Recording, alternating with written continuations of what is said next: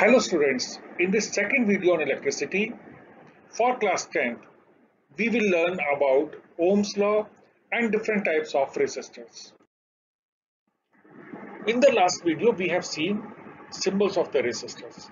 Resistors in a circuit look like the figure here shown and they are very important components of any electronic circuit.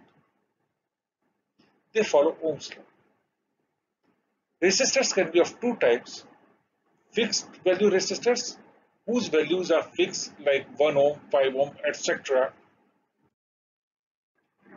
Many times it becomes necessary to increase or decrease current in the electric circuit. To do so, without changing the voltage, a component used is variable resistor in the circuit. Variable resistor can increase value in steps like 5 ohm, 10 ohm, 15 ohm as we do in the regulator of the fan. The device shown here below is a rheostat in which there is a sliding cradle which changes the value not in steps but on a continuous level.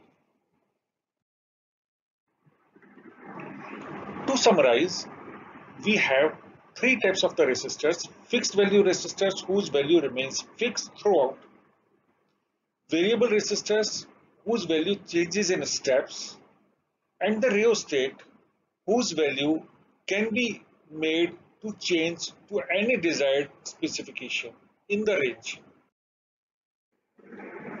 The resistance of conductor depends on four factors. First, material of the conductor. Every material has a specific resistivity, which is denoted by rho.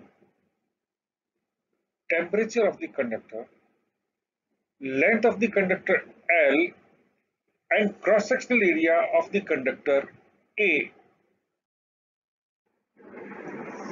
Putting this information in equation form, we get two equations. Number one, resistance is directly proportional to the length L and inversely proportional to the cross-sectional area A. Summing up the two equations, we get R is equals to rho into L by A, where rho is a sign put to remove the proportionality symbol. SI unit of rho, that is electrical resistivity, is ohm meter.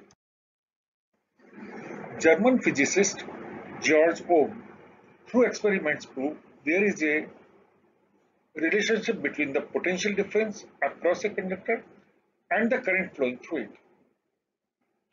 He proved that potential difference across a conductor depends on two factors I, the current, and the resistance.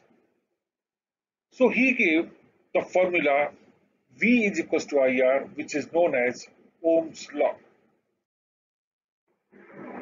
To verify Ohm's law, we need to make a simple circuit as shown in the diagram over here. It has four things, resistor, source of current that is battery, voltmeter to measure the potential difference across the resistors, and ammeter what measures the current passing through the circuit.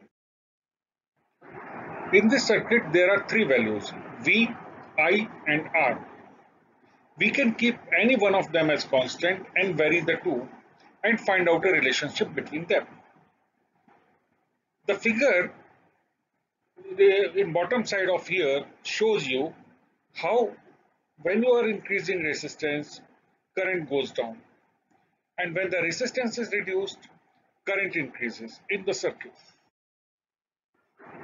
Keeping R constant and changing different potential, data is compiled for different values of V, how much current is flowing using ammeter. And then the graph is plotted. It is a straight line. Then again, resistance is slightly increased. Another set of data is compiled for different values of V, I is again noted and again the graph is plotted. This relationship is a linear relationship between V and I.